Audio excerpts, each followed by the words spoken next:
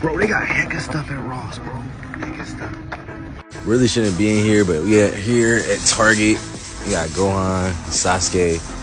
They got the Dragon Ball Super Vegeta. They got the Goku. How do y'all tell me y'all been looking for this? Even though it's McFarlane.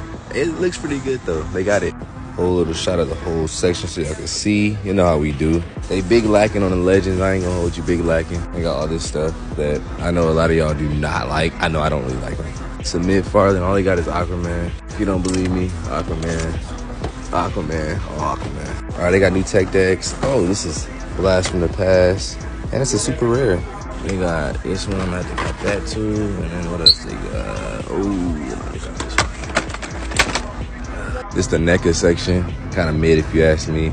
But I look behind here and I see Monkey D. Luffy. I ain't gonna yo. I, I put that right there. They, they got a lot of them. I, I, yeah, I'm not. I'm not gonna cap. I'm not gonna cap. For my Dragon Stars lovers, they got Goku and Frieza right there. They got Super Saiyan One Goku. Somebody was hiding a Spider-Man right here. Whoa. That's definitely getting cops. Yeah, I ain't got no free hands, but I'm gonna have to grab it with my with this finger. Right? I'm gonna put all this down. Oh, let me do that. Hold on. Just to grab this dude. For my little nephew, he likes Spider-Man.